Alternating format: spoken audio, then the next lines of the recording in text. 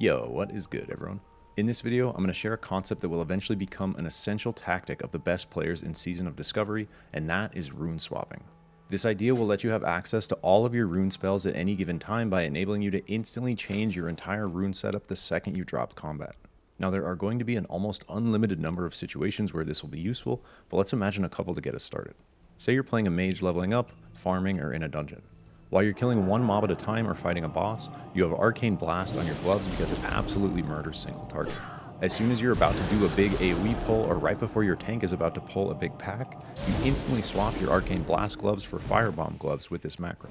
Now you can maximize your AoE damage on the big group and as soon as the fight is over and combat drops, you can instantly switch right back to Arcane Blast again. Now let's consider a PvP scenario where this concept will be even more useful. Imagine you're a mage dueling a rogue. To start off, you take regeneration on your chest and rewind time on your gloves. The rogue opens on you and you use rewind time and regen to survive their burst until you can secure a sheep.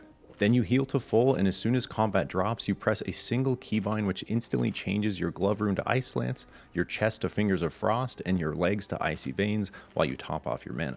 Now you get to open on the rogue from max health with a full frost setup even though you just used two healing runes to survive their open. Additionally, the rogue has no idea what new spells you just swapped to, or if you even swapped at all. This, my friends, is the power of rune swapping. From the rogue's perspective, you can utilize this same exact idea off of a sap or while in stealth. So here's how it works. Basically for any slot you want to rune swap, you'll need to find multiple pieces of gear and put the runes permanently on those pieces. For good players really trying to min max, this is actually another advantage because you can look for gear with stats that align with that specific rune. As an easy example, say you found some gloves with fire spell power. Those would be perfect to be your designated living bomb gloves, but you'd never want to use them with Arcane Blaster Ice Lance.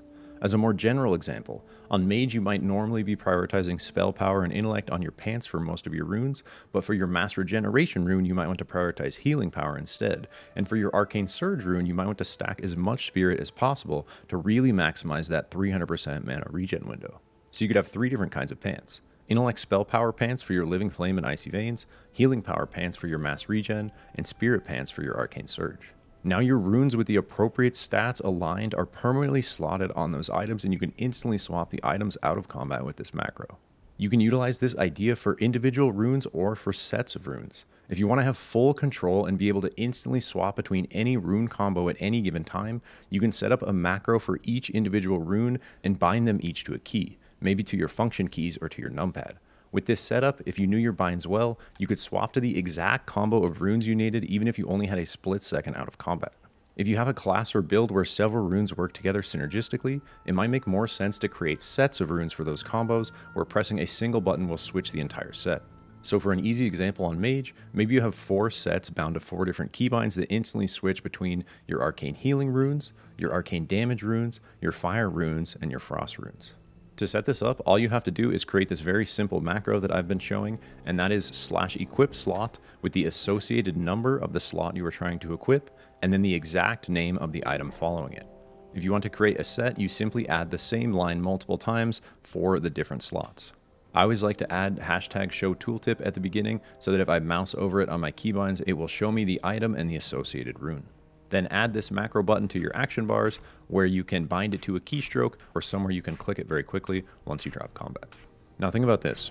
This idea is powerful right now with three rune slots available and four to five runes available in each slot. Imagine how powerful it will become as the game continues to scale with more rune slots becoming available and more spells becoming available in each slot. Not only will this create another very exciting and deep mechanic that can be utilized with the other mechanics introduced in Season Discovery, but also utilizing this concept effectively will allow players to implement it to absolutely dominate by having access to their full rune spell arsenal at any given time. Boom, that's all I got for this one.